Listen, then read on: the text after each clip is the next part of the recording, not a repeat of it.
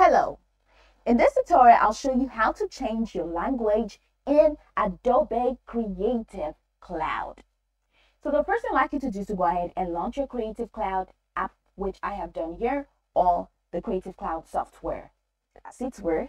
Okay, if you do not have the software downloaded, all you have to do is to go over to your Google search panel using any browser of your choice, type, download Creative Cloud for Windows. For the on-screen prompt to download and install. After installing, it's going to take you to this fantastic homepage where you can navigate through a lot of functions to have a great quality time.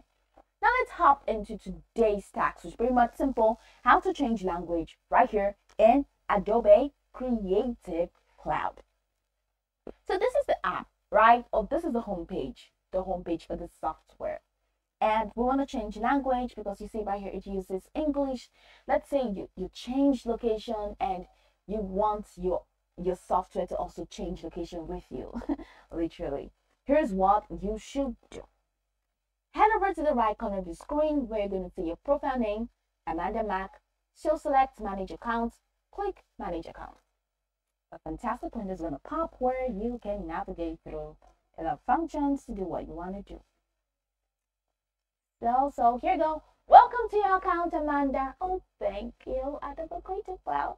Okay, so right here in this window, under the overview session, go down, scroll down, down, down, down, down to the bottom.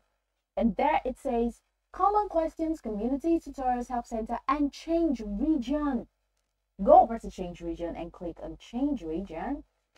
Um, here it says selecting a region changes the language and or content on adobe.com.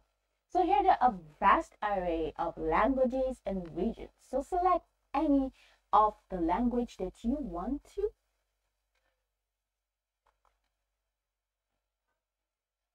Once you select it, your Creative Cloud app is going to refresh using the same language. So I changed it to America, all right? So it has refreshed and now the language has been changed.